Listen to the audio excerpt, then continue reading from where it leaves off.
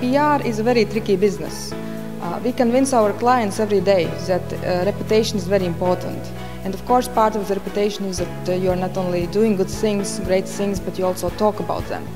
Um, in contrast, we as PR professionals, we just forget to tell about ourselves. PR Awards is a great opportunity for us to uh, tell our great stories, to be inspired by them, and to celebrate success. For me, the Baltic PR Awards is three things. One is to look back to the year. The second is a very important thing for all industries, networking. And uh, the third, and uh, for me, the most important thing is uh, look forward. What will happen and maybe happen, maybe not, in a near or very far future. So it's a great uh, gathering, an opportunity to meet other people from uh, Latvia, from also neighbor countries, to meet together, uh, share experience and get some inspiration.